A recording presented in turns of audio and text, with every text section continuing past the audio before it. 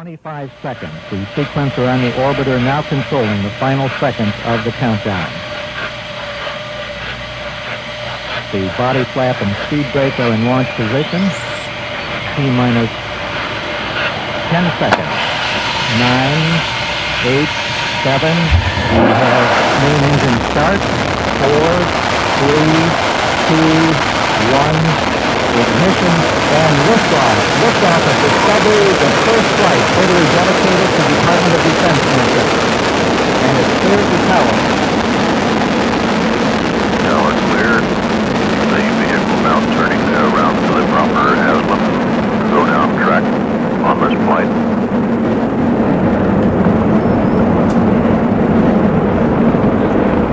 Tram height six tenths of a mile.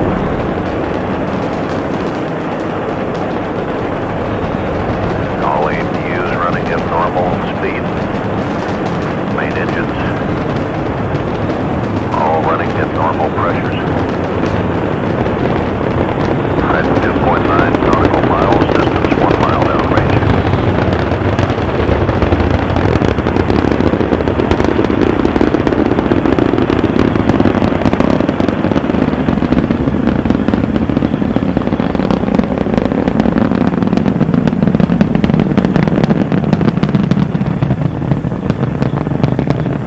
Height 6 miles.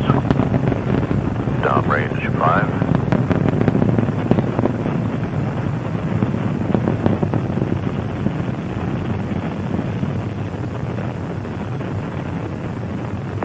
Throttling up after passing through the maximum dynamic pressure area.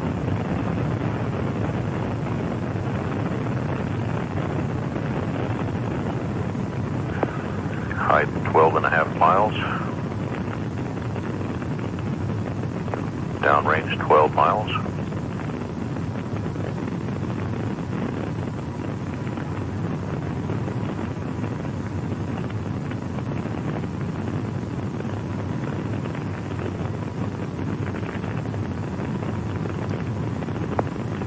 Altitude now 21 miles. Distance 23.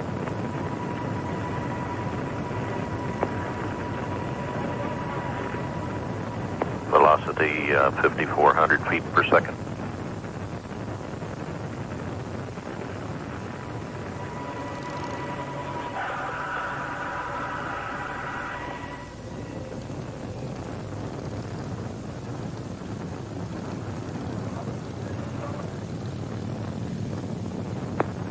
And a normal uh, separation of the solid rocket boosters.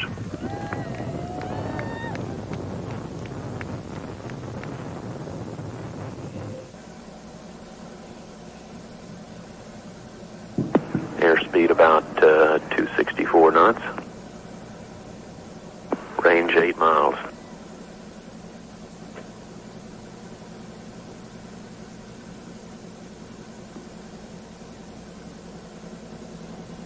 And they've reported the sonic boom at the Cape. On the heading alignment circle, airspeed 258, altitude 24,000 feet, range 9 miles.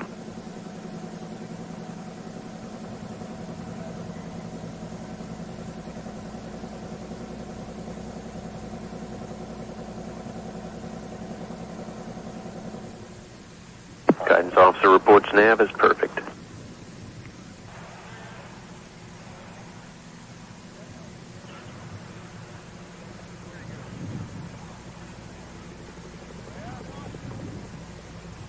Discovery on glide slope, converging on centerline.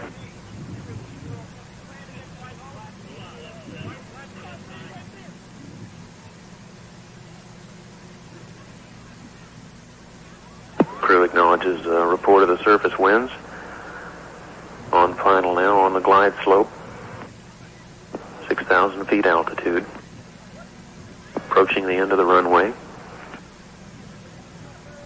Airspeed 285, expected touchdown 195 knots, about 1,550 feet from the runway threshold.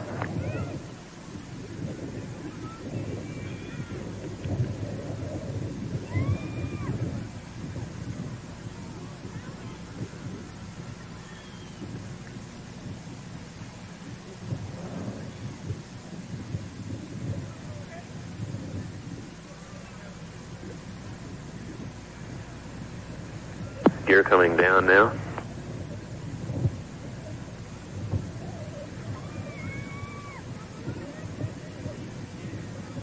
Gear down reported locked. Discovery coming down now.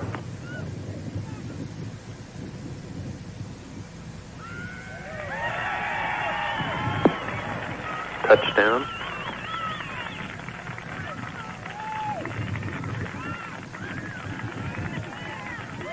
Nose gear touched.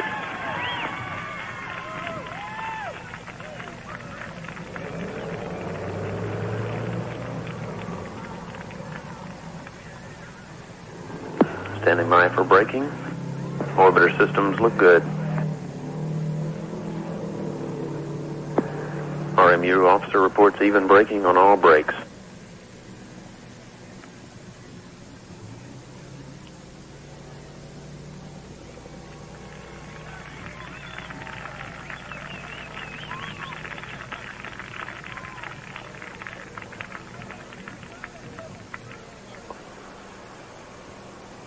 And the crew coming now uh, down the uh, stairway.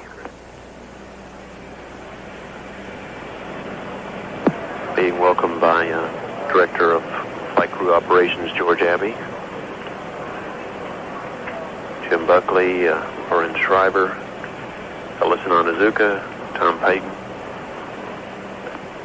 or Gary Payton, and uh, the uh, Commander uh, T.K. Mattingly. This will be Mattingly's last flight. He is uh, returning to active duty with the Navy as uh, the director of the space program of the Naval Electronic Systems Command. That's in Arlington, Virginia, and he'll hold the rank of Commodore. Crew taking a uh, walk around inspection of the uh, spacecraft now.